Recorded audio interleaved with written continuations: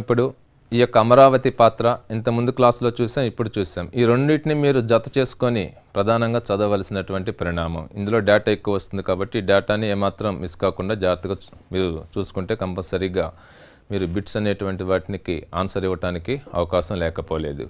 ఇక next concept అండి మన ఈ యొక్క గ్రామీణ అభివృద్ధిలో మరొక కాన్సెప్ట్ అదేమిటంటే ఏపీలో అడవులు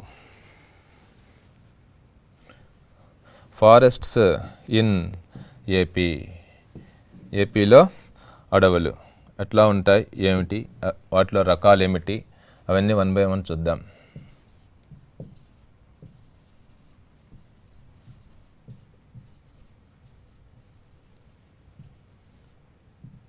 ఏపీలో అడవులు ఆంధ్రప్రదేశ్లో అడవులు గ్రామీణ అభివృద్ధిలో ఇది మరొక అంశం అండి. ఇంపార్టెంట్ అయినటువంటి టాపిక్. ఈ అడవులు అసలు అడవి అంటే ఏమిటండి? చెట్లు చేమ ఇలాంటి వాటితో కూడినటువంటి ప్రాంతాన్ని జనరల్గా మనం అడవి అని చెప్తూ ఉంటాం. ఈ అడవుల్లో రకాలు ఉన్నాయి. వీటిని గమనించే ముందు రెండు వేల పదిహేడు పద్దెనిమిది రెండు వేల పదిహేడు పద్దెనిమిది జాతీయ సామాజిక అడవుల రిపోర్టు ప్రకారం కనుక అబ్జర్వ్ చేసినట్లయితే మన ఆంధ్రప్రదేశ్లో ముప్పై ఆరు వేల తొమ్మిది వందల తొంభై చదరపు కిలోమీటర్ల మేర ఆంధ్రప్రదేశ్లో అడవులు విస్తరించి ఉన్నాయి. ఇది లేటెస్ట్ రిపోర్ట్ ప్రకారం మనం గమనిస్తే ఈ అంశాలు మనకు కనిపిస్తూ ఉన్నాయి. ఇక నెక్స్ట్ వన్ అబ్జర్వ్ చేసినట్లయితే ఈ అడవులను కనుక పరిశీలిస్తే జాతీయ అటవీ విధానం ప్రకారం ముప్పై మూడు శాతం అడవులు ఉండాలి. ప్రస్తుతం ఆంధ్రప్రదేశ్లో ఉన్నటువంటి అడవులు కనుక పరిశీలించినట్లయితే ఇరవై మూడు పాయింట్ సున్నా నాలుగు శాతం ఉన్నాయి. ఎంత శాతం ఉండాలండి? థర్టీ త్రీ పర్సెంట్ ఉండాలి. అలాంటిది ఏపీలో ఉన్నటువంటి అడవుల శాతం ఇరవై మూడు పాయింట్ సున్నా నాలుగు శాతం మాత్రమే ఏపీలో అడవులు ఉండటం మనం గమనిస్తూ ఉన్నాం. ఈ యొక్క ఏపీలో ఉన్నటువంటి అడవులను కనుక పరిశీలిస్తే దేశంలో ఈ యొక్క అటవీ విస్తీర్ణంలో ఏపీ అనేటువంటిది నైన్త్ ప్లేస్ను ఆక్రమించింది. ఎన్నో స్థానం అండి? తొమ్మిదవ స్థానాన్ని ఆక్రమించటం ఇక్కడ మనం గమనించవలసినటువంటి ప్రధాన పరిణామం. ఓకే ఇంతవరకు బాగానే ఉంది. అసలు ఈ యొక్క సాధారణంగా అడవులను రెండు రకాలుగా చెప్తాం. అవి ఏంటో చూద్దామండి. ఒకటి రిజర్వ్డ్ ఫారెస్ట్. రెండు అన్రిజర్వ్డ్ అంటే వీటిని రక్షిత అడవులు అని కూడా అంటారు. అన్రిజర్వ్డ్ ఫారెస్ట్స్ అంటేనండి రక్షిత అడవులు అనేటువంటి పేర్కొంటారు. ఒకసారి చూడండి రిజర్వ్డ్ అన్రిజర్వ్డ్ అన్రిజర్వ్డ్నే రక్షిత అంటారు.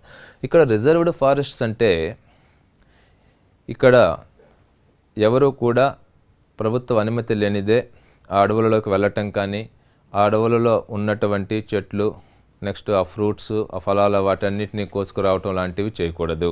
అంటే నిషిద్ధమైనటువంటిది. అక్కడ అర్థం. ఇక్కడ అన్రిజర్వ్డ్ అంటేనండి అలాంటిది ఏముండదు ఇక్కడ కూడా కొన్ని నిబంధనలకు లోబడి ఇక్కడ కూడా కొన్ని నిబంధనలకు లోబడి ఆ అడవులలో ఆ కలప తెచ్చుకోవచ్చు. ఆ కొన్ని నిబంధనలకు లోబడి అడవుల్లో లభించే ఫ్రూట్స్ని తెచ్చుకోవటం అనేటువంటిది జరిగేటువంటి పరిస్థితి. ఇలా సాధారణంగా అబ్జర్వ్ చేస్తే ఈ యొక్క అడవులను ఇలా రెండు రకాలుగా చెప్తూ ఉంటాం. ఇంకా ఇవి కాకుండా అసలు ఓవరాల్గా చూసినట్లయితే అడవుల్లో రకాలు రకరకాలుగా ఉన్నాయి. అవేంటో కూడా ఇప్పుడు మనం చూడబోతున్నాం. ఇవి కాకుండా అడవుల్లో ఇంకట్లా ఉంటాయి ఏమిటి వాటి యొక్క డీటెయిల్డ్గా మనం వన్ బై వన్ చూస్తున్నాం. ఒకటి ఆకు రాల్చే ఆర్ద అడవులు. ఆకురాల్చే ఆర్ధ అడవులు అనేటువంటివి. వీటిని గనక మనం అబ్జర్వ్ చేస్తే వర్షపాతం నూట ఇరవై ఐదు సెంటీమీటర్ల నుండి రెండు వందల సెంటీమీటర్లు వర్షపాతం పడే ప్రాంతాలలో ఈ యొక్క అడవులు ఉంటాయండి. అలాంటి వాటిని ఏమంటారు? ఆకురాల్చే ఆర్ధ అడవులు. ఆకురాల్చే అర్ధ అడవులుగా పేర్కొనటం జరుగుతూ ఉంటుంది. ఎంత అండి ఆకురాల్చే అర్ధ అడవుల్లో వర్షపాతం ఎంత అంటారు రేపు ఎగ్జామ్లో? ఎంత? నూట ఇరవై సెంటీమీటర్ల నుంచి రెండు వందల సెంటీమీటర్ల లోపు వర్షపాతం కురిసే ప్రాంతాలు ఏవైతే ఉన్నాయో అక్కడ ఉన్నటువంటి ఆ అడవులను ఆకురాల్చే అర్ధ అడవులు అంటారు. ఈ అడవులు ఎక్కడ ఉంటాయి? మన ఏపీలో. ఎక్కడండి? ఒకటి శ్రీకాకుళం.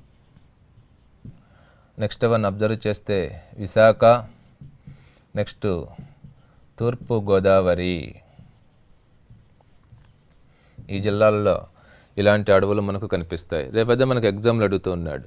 ఏదండి? ఆకురాల్చే అర్ధ అడవులకు ఉదాహరణ ఏది? ఒక నాలుగు రాష్ట్ర నాలుగు జిల్లాల పేర్లు ఇస్తారు. అందులో ఇవి మనం గుర్తుపెట్టుకోవాలి. శ్రీకాకుళం విశాఖపట్నం మరియు తూర్పుగోదావరి ఈ యొక్క ప్రాంతాలలో కనిపించే అడవులను ఆకురాల్చే ఆర్ధ అడవులుగా పేర్కొనటం జరుగుతూ ఉంది. ఇక్కడ లభించేటువంటి ఉత్పత్తులు ఏమిటి అటవీ ఉత్పత్తులు. వేగి ఎగిస మద్ది అనేటువంటివండి. ఇక్కడ అడవులలో లభించే ఏదండి? ఫారెస్ట్ ప్రొడక్ట్స్గా మనం చెప్పుకోవటానికి అవకాశం ఉంది. వీటిని ఆకురాల్చే అర్ధ అడవులు నెక్స్ట్ ఆకురాల్చే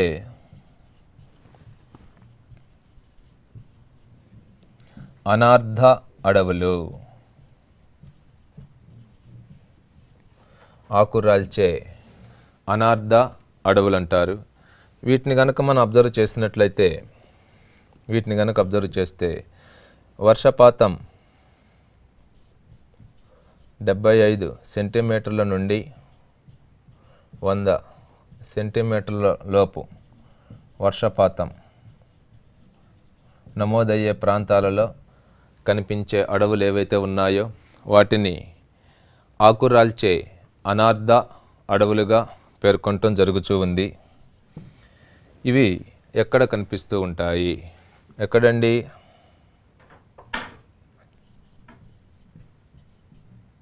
కడప.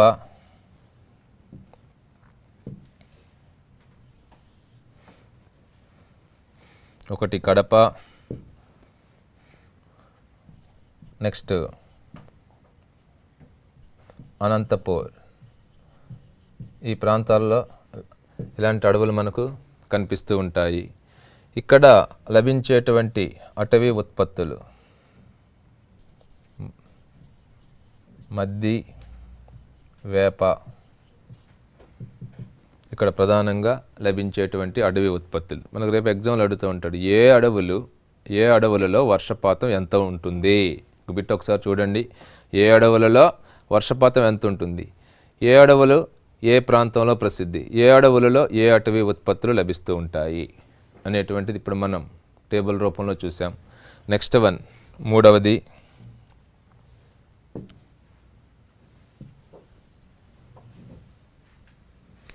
Third one.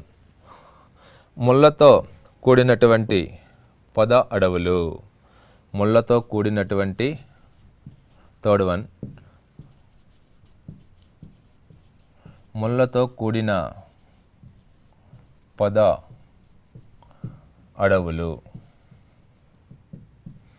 ముళ్ళతో కూడిన అంటే ఇవి ఇక్కడ వర్షపాతం డెబ్బై సెంటీమీటర్ల లోపు వర్షపాతం ఉంటుందండి. ఎక్కడైతే డెబ్బై సెంటీమీటర్ల లోపు వర్షపాతం నమోదవుతూ ఉంటుందో అక్కడ ఉన్నటువంటి ఆ అడవులను ముళ్ళతో కూడినటువంటి పొద అడవులుగా పేర్కొనటం జరుగుతూ ఉంది. ఈ అడవులకు ప్రసిద్ధి చెందినది ఎక్కడండి? కడప కర్నూలు చిత్తూరు అనంతపురం. అనంతపురం. ఈ ఈ ప్రాంతాలు ఇలా ముళ్ళతో కూడిన పద అడవులకు ప్రసిద్ధి. ఇక్కడ లభించేటువంటి అటవీ ఉత్పత్తులు ఏమిటి ఒకటి వేప రెండు ఒకటి వేప.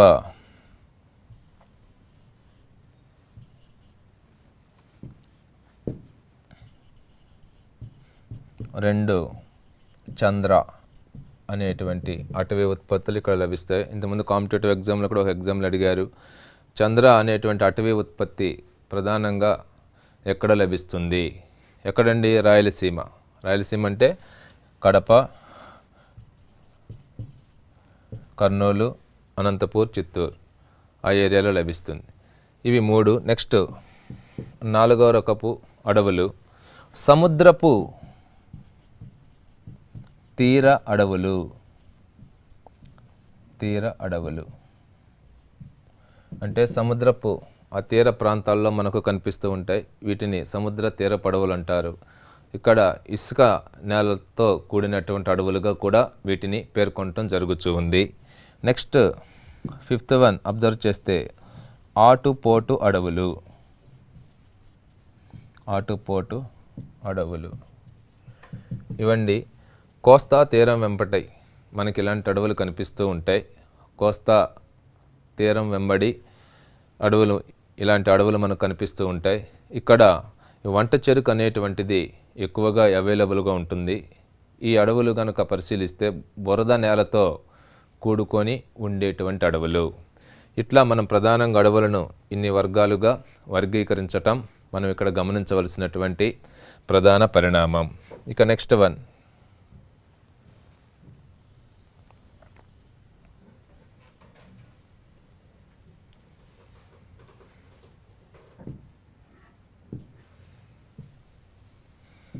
ఇప్పుడు అడవుల్లో రకాలు ఎట్లా ఉన్నాయో మనం చూసాం.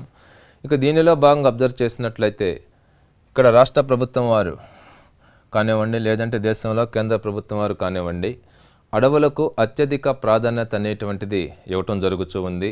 అందులో భాగంగా రాష్ట్ర ప్రభుత్వం వన మహోత్సవం అనేటువంటి ఒక కార్యక్రమాన్ని చేపట్టింది. వన మహోత్సవం అనేటువంటి ఒక కార్యక్రమాన్ని రాష్ట్ర ప్రభుత్వం వారు చేపట్టడం జరిగింది. ఇది ఎలా ఉంది అంటే ఇప్పుడు మనం చూస్తున్నాం. అరవై ఎనిమిదవ వన మహోత్సవ కార్యక్రమం. అరవై ఎనిమిదవ వన మహోత్సవ కార్యక్రమం. ఈ కార్యక్రమాన్ని రాష్ట్ర ప్రభుత్వం వారు చేపట్టారు ప్రతిష్టాత్మకంగా. ఈ కార్యక్రమం ఎప్పుడు చేపట్టారు? రెండు వేల పదిహేడు జూలై ఫస్ట్న ఈ కార్యక్రమాన్ని రాష్ట్ర ప్రభుత్వం వారు చేపట్టడం జరిగింది. ఈ కార్యక్రమాన్ని గుంటూరు జిల్లాలో ఎన్ని బిట్లే ఎప్పుడు చేపట్టారు ఎన్నవ వన మహోత్సవ కార్యక్రమం ఏ డేట్న ఎక్కడ ఎక్కడండి? గుంటూరు జిల్లాలో ఓబులపల్లి అనే గ్రామంలో ఈ కార్యక్రమాన్ని రాష్ట్ర ప్రభుత్వం వారు ప్రతిష్టాత్మకంగా చేపట్టడం జరిగింది. ఈ కార్యక్రమంలో ఏం చేశారు? ఇరవై ఐదు కోట్ల మొక్కలు నాటే కార్యక్రమం చేపట్టారు. మొక్కలు నాటే కార్యక్రమం చేపట్టడం జరిగింది. ఎన్నండి? ఇరవై ఐదు కోట్లు మొక్కలు నాటే కార్యక్రమం చేపట్టాలనేటువంటిది లక్ష్యంగా పేర్కొన్నారు. కానీ ఇక్కడ అబ్జర్వ్ చేస్తే ఇరవై మూడు కోట్ల మొక్కలను నాటడం జరిగింది. ఇదే అరవై ఎనిమిదవ వన మహోత్సవ కార్యక్రమం. రేపు మనకి ఎగ్జామ్లు ఏమంటారు చూడండి. అరవై ఎనిమిదవ వన మహోత్సవ కార్యక్రమాన్ని ఏ డేట్న ప్రారంభించారు రాష్ట్ర ప్రభుత్వం వారు. ఇప్పుడండి రెండు వేల పదిహేడు జూలై ఒకటవ తారీఖున. ఇది ఎక్కడ ప్రారంభించారు? గుంటూరు జిల్లాలో ఓబులపల్లి. అక్కడ ఏబిసిడి ఇస్తాడు. గుంటూరులోనే నాలుగు పల్లెటూర్ల పేరు ఇస్తారు. మనం ఓబులపల్లిని ఫైండ్ అవుట్ చేయాలి. నెక్స్ట్ ఈ అరవై ఎనిమిదవ వన మహోత్సవ కార్యక్రమాలు అబ్జర్వ్ చేసినట్లయితే ఎన్ని మొక్కలను నాటాలని ప్రభుత్వం వారు లక్ష్యంగా చేసుకున్నారు? ఎన్నండి ఇరవై ఐదు కోట్ల మొక్కలను నాటాలి అనేటువంటిది ప్రధాన లక్ష్యంగా చేసుకోవటం జరిగింది. అందులో భాగంగా ఆ అరవై ఎనిమిదవ వన మహోత్సవ కార్యక్రమంలో మొత్తం నాటినటువంటి మొక్కలు ఎన్ని? ఇరవై మూడు కోట్లుగా రాష్ట్ర ప్రభుత్వం వారు ప్రకటించటం మనం ఇక్కడ గమనించవలసిన ప్రధాన పరిణామం. ఇది అరవై ఎనిమిదవ వన మహోత్సవ కార్యక్రమం. ఎప్పుడండి? రెండు వేల పదిహేడు జూలైలో మనం చూసాం నెక్స్ట్ అరవై తొమ్మిదవ వన మహోత్సవ కార్యక్రమం. రెండు వేల పద్దెనిమిది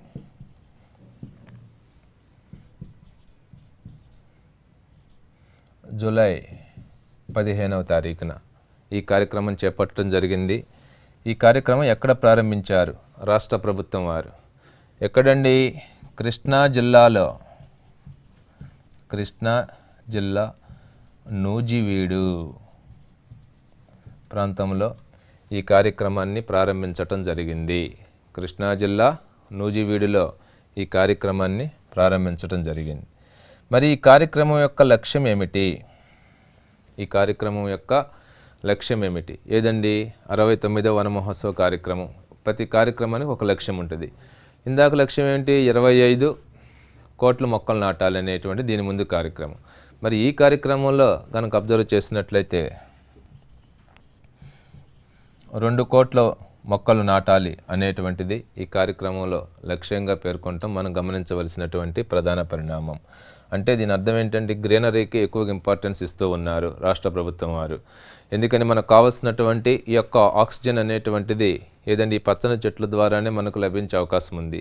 ఏదేమైనా ఏదండి బహుళ అంతస్తుల ఈ భవనాల పేరు మీద కానివ్వండి ఇతరత్ర అంశాల వారీగా కానివ్వండి గ్రీనరీ అనేటువంటిది నశించిపోతూ ఉంది.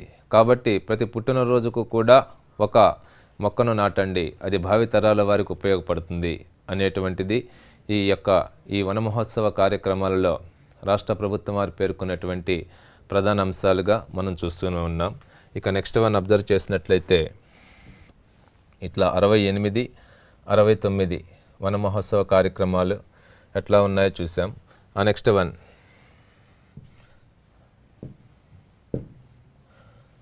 కార్తీక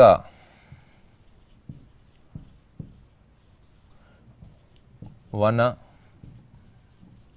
మహోత్సవ కార్యక్రమం అని రాష్ట్ర ప్రభుత్వం వారు ఈ కార్యక్రమాన్ని చేపట్టారు. దీనిని రెండు వేల పదహారు నవంబర్ పద్నాలుగు నుంచి నవంబర్ ఇరవయవ తారీఖు వరకు ఈ కార్యక్రమాన్ని రాష్ట్ర ప్రభుత్వం వారు ప్రతిష్టాత్మకంగా చేపట్టటం ఇక్కడ మనం గమనించవలసినటువంటి ప్రధాన పరిణామం. ఈ కార్తీక వన మహోత్సవ కార్యక్రమంలో భాగంగా రాష్ట్ర ప్రభుత్వం వారు ఇక్కడ కూడా మొక్కలు నాటే కార్యక్రమానికి శ్రీకారం చుట్టారు. అందులో భాగంగా మనం గమనించినట్లయితే ఈ కార్తీక వన మహోత్సవ కార్యక్రమం రాజమండ్రిలో ప్రారంభించటం జరిగింది. రాజమండ్రి ప్రాంతంలో ఈ కార్యక్రమాన్ని రాష్ట్ర ప్రభుత్వం వారు ప్రతిష్టాత్మకంగా చేపట్టడం జరిగింది. ఈ కార్యక్రమంలో కూడా మనం పరిశీలిస్తే రెండు లక్షల మొక్కలు నాటే కార్యక్రమం చేపట్టారు రాజమండ్రి ప్రాంతంలో. ఈ యొక్క ఈ కార్యక్రమానికి హాజరైనటువంటి విద్యార్థులు లక్షన్నర మంది విద్యార్థులు హాజరయ్యారండి. ఆ లోకల్ విద్యార్థుల్ని పోగు చేసి ఈ యొక్క మొక్కలు నాటడం వల్ల కలిగేటువంటి ఇంపార్టెన్స్ ఏమిటి? వాటి వల్ల భవిష్యత్తు తరాలకు ఎలా ఉపయోగంగా ఉంటుంది అనేటువంటిది ఇదండి ఈ యొక్క పాంప్లెట్స్ ఈ యొక్క స్లోగన్స్ ద్వారా ఇలా జనాల్లో అవేర్నెస్ కల్పించడం కూడా ఈ యొక్క కార్యక్రమం యొక్క మరి యొక్క ప్రధాన ధ్యేయంగా మనం చూసాం ఇక నెక్స్ట్ వన్ అబ్జర్వ్ చేస్తే కార్తీక వన మహోత్సవం రెండు వేల పదిహేడు. కార్తీక వన మహోత్సవం. ఇది ఎప్పుడండి? రెండు వేల పదిహేడు నవంబర్ నవంబర్ నెల నాలుగవ తారీఖు నుంచి. పదకొండవ తారీఖు వరకు ఈ కార్తీక వనమహోత్సవ కార్యక్రమాన్ని రాష్ట్ర ప్రభుత్వం వారు ప్రత్యేకంగా ప్రారంభించటం. ఇందులో లక్షన్నర మొక్కలు ఇక్కడ కూడా. ఏదండి? మీ పైన ఏమో రెండు లక్షల మొక్కలు అని చెప్పారు. లక్షన్నర మంది విద్యార్థులు పాల్గొన్నారు. ఇక్కడ లక్షన్నర మొక్కలు నాటే కార్యక్రమాన్నిగా రాష్ట్ర ప్రభుత్వం ప్రకటించడం జరిగింది. ఇలా ఏదేమైనా రాష్ట్ర ప్రభుత్వం వారు అటవీ విస్తీర్ణాన్ని పెంచాలి. ఇందాక మనం చూసాం జాతీయ అటవీ విస్తీర్ణాన్ని కనుక అబ్జర్వ్ చేస్తే నేషనల్ రిపోర్ట్స్ ప్రకారం చూస్తే థర్టీ త్రీ పర్సెంట్ ఉండాలి. అలాంటిది మనకు ఉన్నటువంటి అటవీ విస్తీర్ణం ఏదండి? ట్వంటీ టూ పర్సెంట్కే వచ్చేసింది. కాబట్టి ఏది ఏమైనా ఇలా అటవీ విస్తీర్ణాన్ని పెంచే కార్యక్రమాల్లో ఇది ఒక భాగంగా మనం గమనించవలసినటువంటి ప్రధాన పరిణామం. Next one.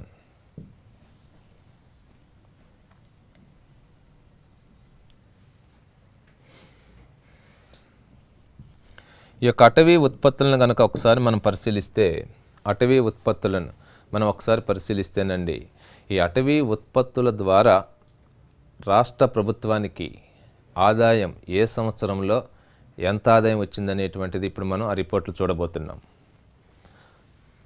అటవీ ఉత్పత్తుల ద్వారా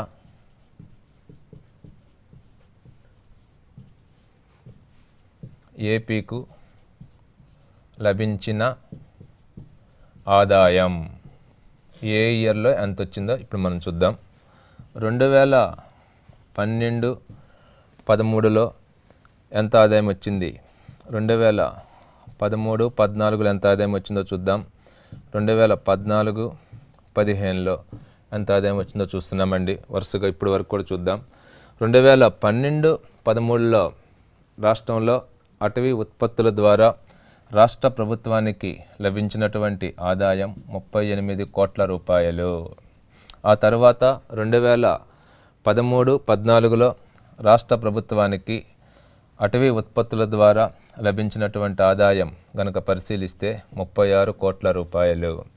రెండు వేల పద్నాలుగు పదిహేనులో రాష్ట్ర ప్రభుత్వానికి అటవీ ఉత్పత్తుల ద్వారా లభించినటువంటి ఆదాయాన్ని గనక పరిశీలిస్తే ముప్పై ఐదు కోట్ల రూపాయలుగా మనం చూసాం. అదేవిధంగా రెండు వేల పదిహేను పదహారులో ఎంత? రెండు వేల పదహారు పదిహేడులో ఎంత? రెండు వేల పదిహేడు పద్దెనిమిది. అంటే పద్దెనిమిది అంటే లేటెస్ట్ రిపోర్ట్స్ అన్నమాట. ఇవి కాబట్టి లేటెస్ట్ ఒకసారి మీరు జాగ్రత్త చూసుకోవాలి. అలాగని మీకు ఇప్పుడు ఈ లేటెస్ట్ రిపోర్ట్ ఒకటి ఇచ్చేసేసి నేను ఆపేయచ్చండి. రేపు ఒకవేళ పేపర్లో వాడు కొంచెం ముందుకెళ్ళి అడిగాడు అనుకోండి మీకు ఇబ్బంది లేకుండా ఉంటుందని ఏది రెండు వేల పన్నెండు నుంచి కూడా మీకు ఆ రిపోర్ట్స్ని ఇవ్వటం ఇక్కడ జరుగుతూ ఉన్నటువంటి ప్రధాన పరిణామం.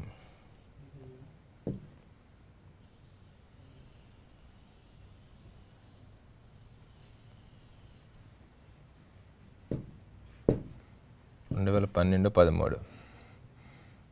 రెండు వేల పదమూడు పద్నాలుగు. పద్నాలుగు పదిహేను. పదిహేను పదహారు. పదహారు పదిహేడు. పదిహేడు పద్దెనిమిది. ఓకే. ఇక నెక్స్ట్ రెండు వేల పదిహేను పదహారులో రాష్ట్ర ప్రభుత్వానికి అటవీ ఉత్పత్తుల ద్వారా లభించినటువంటి ఆదాయం ముప్పై ఒక్క కోట్లండి. పదహారు పదిహేడులో కనుక అబ్జర్వ్ చేస్తే పద్దెనిమిది కోట్లు మాత్రమే పదిహేడు పద్దెనిమిదిలో అబ్జర్వ్ చేసినట్లయితే పంతొమ్మిది కోట్ల రూపాయలు. పంతొమ్మిది అంటే మీకు up to date latest information గుర్తుపెట్టుకోవాలి. ప్రస్తుతం అంటాడు లేటెస్ట్ ఇన్ఫర్మేషన్ ప్రస్తుతం అటవీ ఉత్పత్తుల ద్వారా రాష్ట్ర ప్రభుత్వానికి లభించినటువంటి ఆదాయం ఎంత? అంటే పంతొమ్మిది కోట్ల రూపాయలు ఈ ఇయర్లో పదిహేడు పద్దెనిమిదిలో. ఇక నెక్స్ట్ అబ్జర్వ్ చేస్తే ఇదే ఫారెస్ట్ ఏరియాని కనుక మనం గమనించినట్లయితే ఇక్కడ మనం మరికొన్ని విషయాలను పరిగణలోనికి తీసుకోవలసినటువంటి ప్రధాన పరిణామం ఉంది.